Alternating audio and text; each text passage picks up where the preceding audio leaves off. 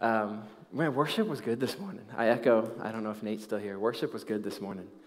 The presence of God can be real sweet as we worship, as we spend time, and we're actually going to take a few moments here, and I'm going to dive into a message that I did prepare. Um, but we're going to take a few moments and take a few minutes, actually. And I just really felt this on my heart today uh, for this time. And this, we're going to spend some time praying together. And, and, and, and you'll see in a second. And we don't always have to be in the, the prayer time of the service to pray.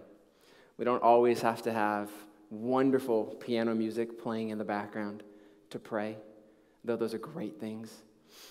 I just felt in my spirit as I was thinking, as I was preparing, um, and I even sense this of thinking about how the Lord's encountering us in worship, that there are some real heavy things people walked in with today.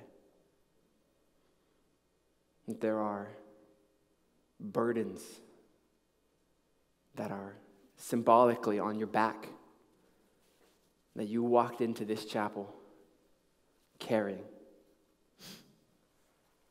And the second thing is, I think there's some people in your life that you know are walking through some stuff. Some people that you care so deeply about. And people that you want to see God move, you want to see the Holy Spirit intervene, and we want to pray. And one of the things I find so funny about Christian culture sometimes, here at Northwest, but just in general, Western Christian culture maybe, is we, we want to pretend we have it all together. And I understand theologically maybe where someone's coming from when they say that of Christ saved us and we're new, and, and I fully agree with that.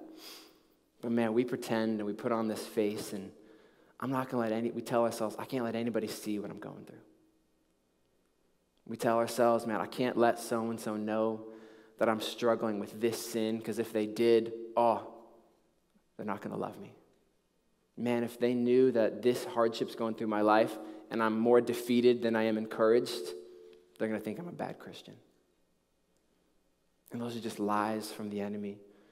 And the beautiful thing about the gospel is it puts myself, you, and us all on the exact same playing field. Friends, we all need Jesus. Every single one of us need Jesus. There is no superiority, and what I'm so against that sounds harsh, but I'm so against the, the Christian fakeness.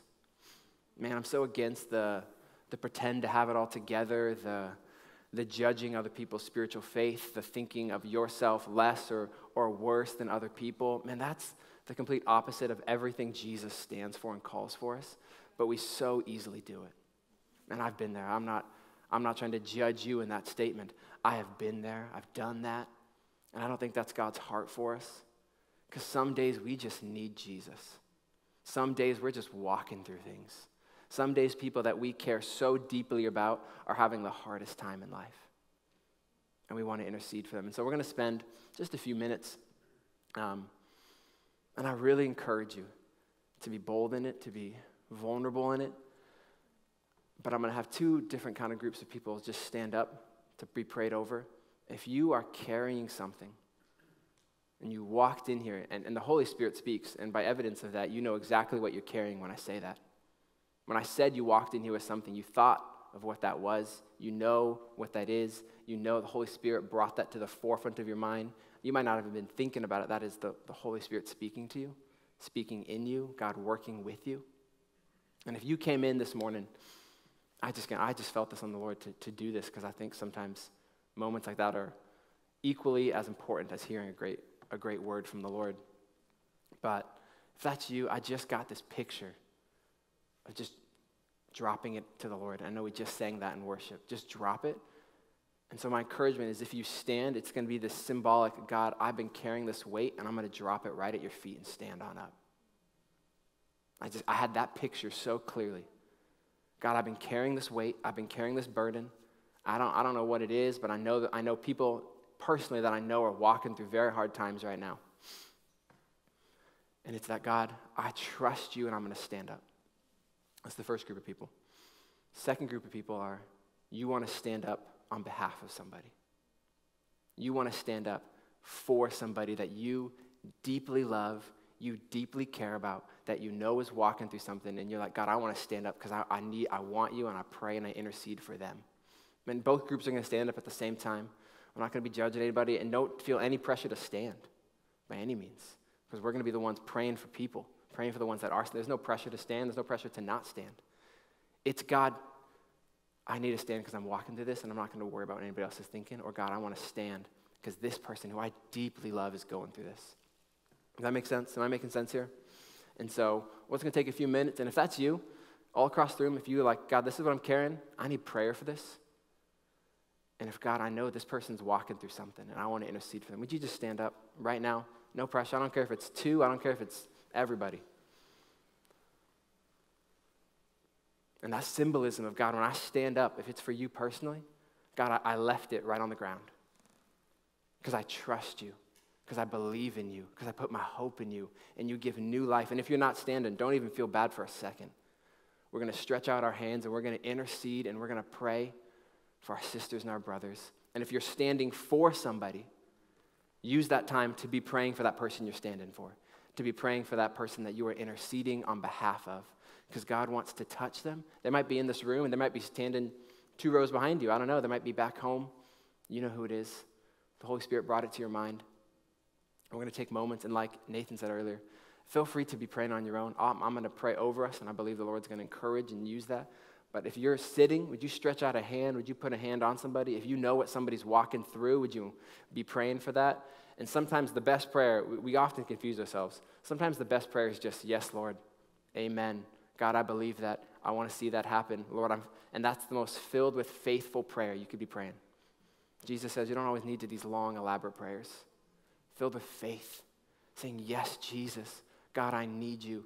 God, I'm, I'm broken. I know you save you, but I need you in this situation. You don't even need to pray more than that. You could just pray that over and over again.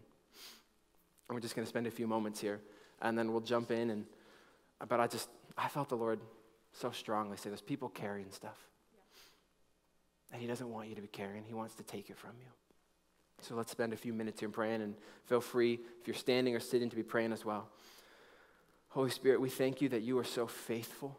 God, to meet us and to encourage us. And so I just pray right now, God, for my sisters and my brothers that are walking through difficult situations right now. Jesus, would you meet them in that situation? Would you bring your love? Would you bring your peace? Would you bring your joy? Would you bring your hope that we just talked about? Because, God, you are so faithful. God, nothing catches you off guard and you have been walking with them in the moment. God, what things, I, God, that we just thank you for is that you're not a God who's distant, who's far off. You're a God who's in the midst of the trouble. You're a God who's in the midst of the pain. You're a God who comes and welcomes brokenness. You stand in the midst of it right with us. And you bring hope and you bring life. God, you breathe your spirit into us. And so, right now, Jesus, God, doesn't have to be the part of the service, doesn't have to be the most holy sounding moment. But God, would you bring your life? Would you bring your spirit into, God, the students that are standing that have been carrying weights. God, you want to bring freedom. You want to bring life. You want to bring wholeness. God, you want to bring hope. You want to bring finances. God, you want to bring, God, you want to say that that diagnosis is no longer there, Jesus. You want to declare wholeness and freedom. And God, for people that are mourning of loved ones that have passed, God, would you touch them? God, in just a tangible, comforting way that only you can do. And God, for people that are, came in with shame and condemnation, God, you say that, that there is no condemnation for those who are in Christ Jesus. For you have set us free in the name of Jesus. And so I command that the lies of the enemy that have been spoken over individuals would be gone in the name of Jesus. And God, for my friends that are standing for someone else, man, God, we agree our faith with them for that situation. We thank you for their willingness and their faithfulness to say, I intercede on behalf of so and so. I intercede in behalf on their situation. God, would you have a work and have a way in it? Jesus, we need you. And we thank you that you are so faithful. And you are a good father who gives good gifts to his children. And God, today we are your children. Every day we are your children. But in this moment, we remember that. In the name of Jesus, we pray. Amen. Amen. Uh, friends, you can grab a seat. It doesn't need to be a big spiritual moment to encounter Jesus. It can be. But to encounter his love and to encounter his presence, what he has for you, I'm believing that there are many of us who are walking out of here lighter. Who are walking out of here with a burden that you were carrying that Jesus says you do not have to carry. Come to me, all who are weary and burdened, Jesus says, and I will give you rest. And I believe that a lot of you, or people you're praying for, maybe got a glimpse of that and will walk in that throughout the day. And so I'm excited to, uh, the whole sermon won't be this, you know, somber, I promise, but maybe it will. We'll see how the Lord leads. But man, I just, sometimes that stuff's more important. I think structure to services is great, and structure in your life is great. Be a disciplined person. We, we schedule our gatherings, but sometimes you just got to let the Holy Spirit do what the Holy Spirit's going to do. You got to make space and sometimes get out of the way or say yes because God's going to do what God's going to do. And it's going to be a lot easier for you if you uh, say yes to that process rather than resist that process. And so, will I have a shorter sermon because of that? You're welcome, yes. But I think the Holy Spirit encouraged you, and I believe that for you. And so, uh, Hannah mentioned it really briefly. Um, we're starting a relationship series in. Uh, all people already joked about it. Um, it is absolutely a coinkadink that Valentine's Day is on Monday. Didn't know that. Honestly, when I was planning this with Pastor Megan, didn't even realize that you'd think I'd know that because Valentine's Day falls, I believe, on the same day every year. Um, honestly, we were just trying to think about series and how they fell with other, other series, but hey, the Holy Spirit works. So if that, you're probably thinking about it, and so it happened to work that way, but that was not our intention. I'll give the Lord any glory or frustration um, about that. Uh, that was not intentional, but the Lord is funny sometimes. He has, he has a sense of humor. And so we're going to talk about a, a, mini relationship series that's really just going to be this week. So, chapel today, um, just for the next uh, 10, 15 minutes, I have a really kind of brief but straight to the point message that I think the Lord is leading. Um, and then tomorrow night, do not miss it. For this week, again, we're doing the relationship mini series. There's going to be a panel that Res Life is putting on. And, and so today, I'm not diving into a lot of the relationship topics and questions like boundaries in your relationship, or I'm single and I want to be married. How do I wrestle with that tension? Or I don't have this desire to be married and I'm at a university that only talks about that. How do I process that? Um, all those really, really good questions. And those are great questions. And I don't make any light of any of those questions. And the panel is going to talk about a lot of those tomorrow. So if you have a lot of those and you're thinking about those things and you want to process, please go to the panel. Um, the, it's going to be split up between guys and gals. Um, the gals are going to be in Perks Lounge at 7 p.m. tomorrow. Perks Lounge, 7 p.m. Um, and if you don't know where that is, don't even worry about it. Just ask somebody. A lot of people know where it is. Um, and then the guys are going to be in Gray Beatty Lounge at 7 p.m. So if you want to go, Res Life is really excited. There's some great people there. We separated it so you can be more honest and open with the questions that you're going to ask and have really good dialogue and from the panelists there. So go to that. Um, 7 p.m. tomorrow. I really encourage you, make space, go and enjoy and ask good questions, ask hard questions, process together. And then on Friday, I'm hyped. Um, Arlette is coming to preach here on Friday. I'm hyped. Um, and she has been, uh, Arlette is a AC here, and she is in GPC, and she's very, very excited.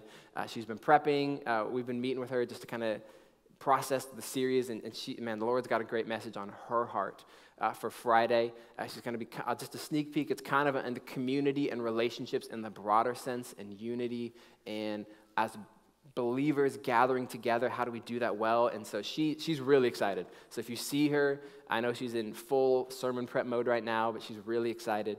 Uh, so she'll be preaching on Friday to wrap up our mini series on relationships. And so don't miss that um, on Friday. Uh, today, uh, I'm really diving into kind of going to take relationships from a different point of view or a different side of things. I'm going to be really looking at Paul's he- Paul here in 1 Corinthians, end of chapter 6, about our relationship with our body. uh, the relationship that and how our body physically interacts with God, what God calls us physically into a relationship, what it means to have a physical body in relationship with Jesus, and then as in a roundabout way, our body physically is what we bring into a relationship. I'm not at all speaking sexually here. I'm, very, I'm speaking incredibly literally. You bring your physical self into a relationship friendship, romantic relationship, the way you act, the way your body is, how your body functions. Um, God has something to say about that. Uh, and Paul talks about here, and we're going to read it on, we're gonna, it's going to be on the screen behind me in just a sec. But I want to get about how, and I just felt I was going to do a whole sermon on marriage, and maybe the Lord spared you. He didn't need it today. I was, I was thinking about doing that. I was ready for that, and the Lord was like, nope. Uh, and I was doing my sermon prep a while back. The Lord was like, this is what actually I want you to dive into. Uh, and how do we glorify God with our body? Because who we are physically is what we bring into relationships. You bring in your mind mentally, you bring in your emotions in your heart emotionally, and then you bring yourself physically, and God cares about you physically just as much as He cares about you spiritually and emotionally intellectually. And so we're going to dive into that today. And so if you wouldn't mind standing up for the reading of God's word, it's going to be on the screen. You can just follow it right here. Uh, this is in 1 Corinthians chapter 6, uh, from verse 12 through verse 20. It says this Everything is permissible, but not everything is beneficial. Everything is permissible for me, but I will not be mastered by anything. Food is for the stomach, and the stomach for food. And God will do away with both of them. However, the body is not for sexual immorality, but for the Lord, and the Lord for the body. God raised up the Lord and will also raise us up by his power. Don't you know that your bodies are a part of Christ's body? So, should I take part of Christ's body and make it part of a prostitute? Absolutely not. Don't you know that anyone joined to a prostitute is one body? For scripture says the two will become one flesh. But anyone joined to the Lord is one spirit with him. Flee sexual immorality. Every other sin a person commits is outside the body, but the person who is sexually immoral sins against their own body. Don't you know that your body is a temple of the Holy Spirit who is in you, whom you have from God? You are not your own. You were bought at a price. So glorify God with your body. Amen. Let's pray together.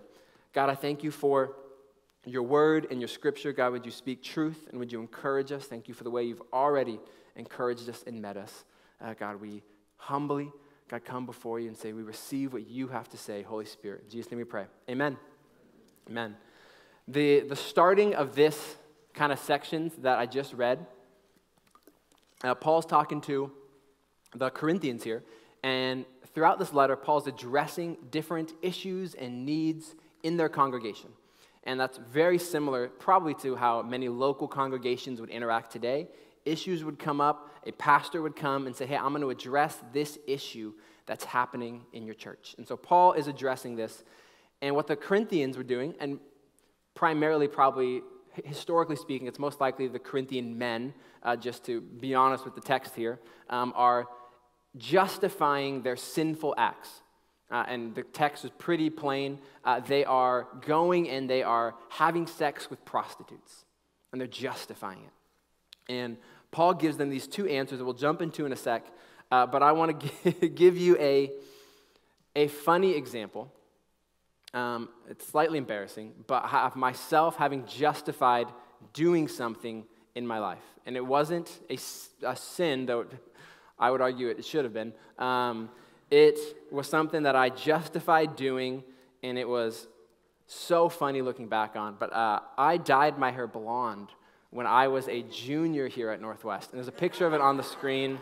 Oh my goodness. Man.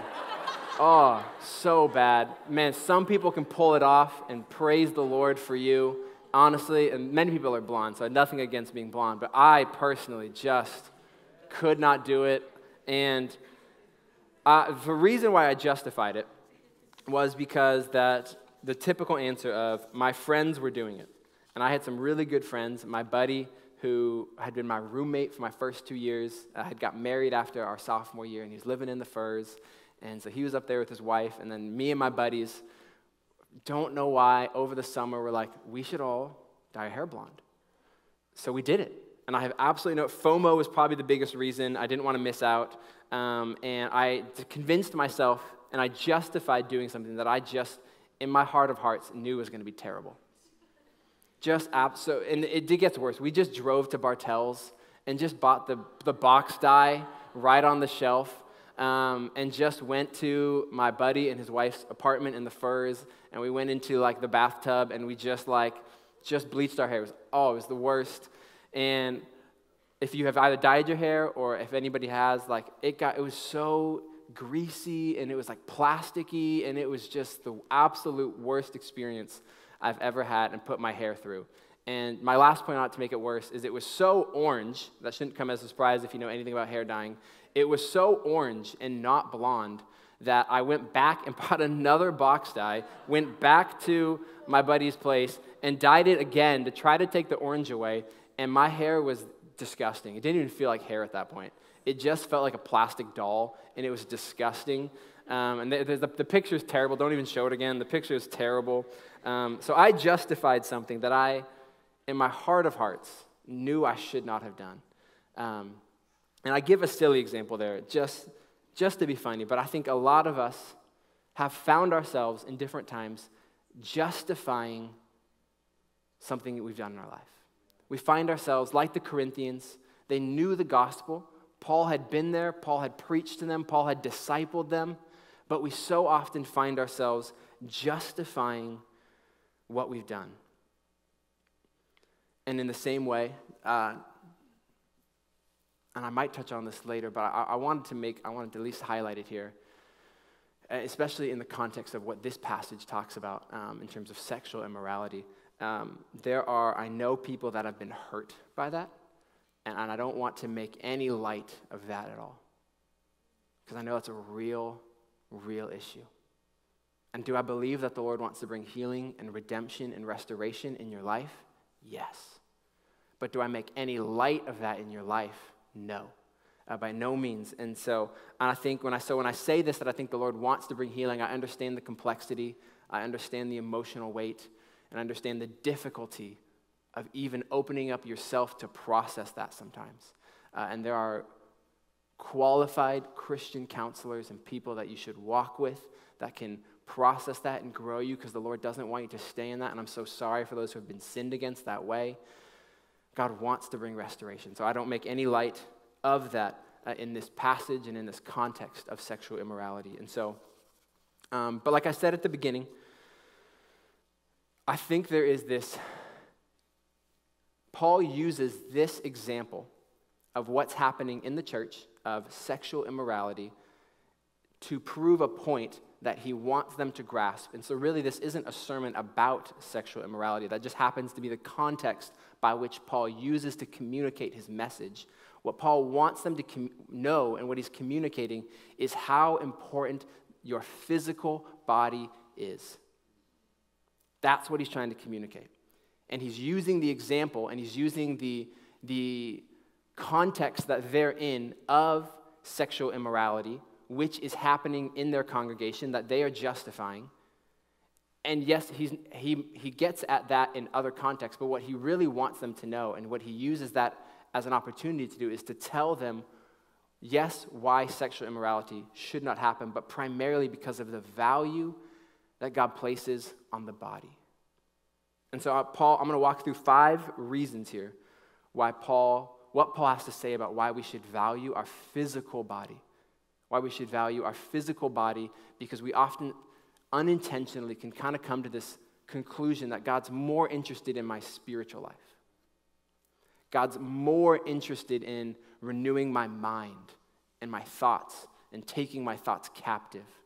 Those are those things are all true. But God's maybe you're like, God's more interested in getting my emotions in check. Because maybe you're like, I'm a highly emotional person, which is really all of us. It just means you're aware enough to know you are. Um, and we're all emotional, but we often leave out that God cares about our physical body.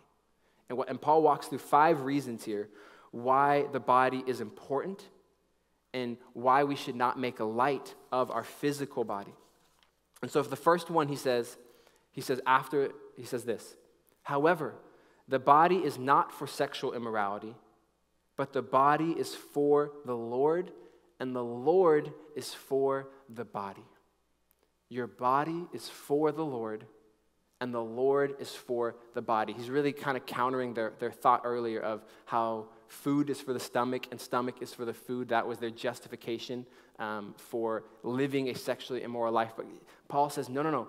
Your body, your physical body, in your physical form, the way you are right now, was created and designed for the Lord. To experience the Lord, to know the Lord, to encounter the Lord, to be used by the Lord in your physical form, as well as the Lord is for you. And often you'll hear people say it's there's a God sized hole in you until you know Jesus. And most people say that spiritually speaking, which they're not incorrect in that thought. But physically, your body is renewed by Christ when you are saved. And there's an element, and we'll get to it in a little bit, of the coming of Christ where we have a new body. And so the body is not for sexual immorality. That just happens to be the context that Paul's talking about. You could fill that in with any other thought. The body is not for blank, but it's for the Lord. The Corinthians had this tension with Paul because they did not place value on their physical body, and therefore they were justifying acts that were hurting their body. Second one that Paul says in this text God raised up the Lord and will also raise us up by his power. And Paul puts this in really intentional emphasis that God raised up Jesus physically. He's wanting them to grasp this idea. Jesus physically rose from the grave. And often we don't think about how Jesus physically rose. We just think how he took sin and he died and he rose again. Uh, but he physically, in his physical, new, resurrected form, raised to life by the power of the Holy Spirit. And we, in the same way, are going to be raised by the power of the Holy Spirit. Your physical body, the body that Jesus, God, gave you, created you in, is going to be renewed and raised to life by God. The same power that raised Jesus is going to raise you. And the Corinthians here did not have a proper understanding about the coming of Jesus and the resurrection on the final day. They were missing, and in Greek thought, it makes sense why they thought this. In Greek thought, the physical body was of no value, and the mental and the philosophical, intellectual was what really mattered in their culture. And so they had a really hard time grasping what Paul was saying because they're like, my physical body doesn't matter. All that matters is intellectual and spiritual. And I think sometimes we find ourselves thinking the same thing when in reality, the end of the day, whether you pass or we're alive when Jesus comes back, your physical body is going to be raised to life in Jesus. And therefore, your physical body has value, and God cares about your physical body. Paul wants us to make the connection between the resurrection of Christ and the resurrection of the believers because our body is connected to Christ, which leads to the third point he says, Don't you know that your bodies are a part of Christ's body? Now, obviously, on some level, he's speaking spiritually here because we're not all literally attached to Christ's body right now. That would be very weird. Um, but Paul wants us to grasp that when we have come to say yes to Jesus, we have entered into the body of Christ. We have entered in as believers, and therefore, what we do with our physical body is an expression of Christ's body. Therefore, the way you act with your physical body is a representation of Christ's body in that situation. Because you are a part of the body of Christ. We cannot think that sin, whether it's sexual sin or any sin, is okay because one day God is going to destroy our body. The reality is that God cares deeply about our body and it represents Christ, the body of Christ. The fourth one, he says, Don't you know that your body is a temple of the Holy Spirit who is in you, whom you have from God? And if I had more time, I would jump into the whole history of how God has been moving closer and closer to humanity through the tabernacle, through the temple, through Jesus coming, through the Holy Spirit moving into us. And what it looks like now is that the Holy Spirit dwells in you. God has been moving closer and closer to his people, and he dwells in your physical body. You physically have the Holy Spirit in you when you say yes to Jesus. You are physically being regenerated by the Holy Spirit throughout your whole life, and therefore take care of your body because it is a temple of the Holy Spirit. And the fifth one, he says, You are not your own, you are bought at a price. And this thought can be easily taken in a negative way. I think we have a natural, a negative association with this idea of like being bought but what, what Paul's getting at there, he's really getting at how valuable our body is because Christ laid down his life for you. That your physical body, you and who you are, not just your spirit, Jesus values so much. He came and he lived and he died for and he rose and went back to heaven for you in every aspect of who you are. And he says, You are not your own, you were bought at a steep price. And if Christ valued you that much, how much should you value your body and who you are? And so Paul ends, and I'll, I'll wrap up with this. Paul ends with then glorify God with our bodies. And so, what is it? What will it look like for you in your life to live and to glorify God with your body? To live into who He's calling you to be, who He's making you to be, who He is destining you to be spiritually, emotionally, mentally, physically. God has a plan for you. God cares about you. So we take care of our body. I'll wrap up for the sake of time. I cut out so many notes. You're welcome. Um, I want to get you out of here on time. Uh, let pray with me. God, I thank you that you care about us in every aspect physically, emotionally, mentally, spiritually. And so, God, we hear your word and we say, Yes, God. We want to glorify you with our body. Holy Spirit, would you empower us to walk that out? Would you empower us to be those people, to represent the life that God is calling humanity in? God, we are a mirror and a representation of that to the world. So would you give us humility and grace and strength, Holy Spirit, to do that well? In the name of Jesus, we pray. Amen. Amen.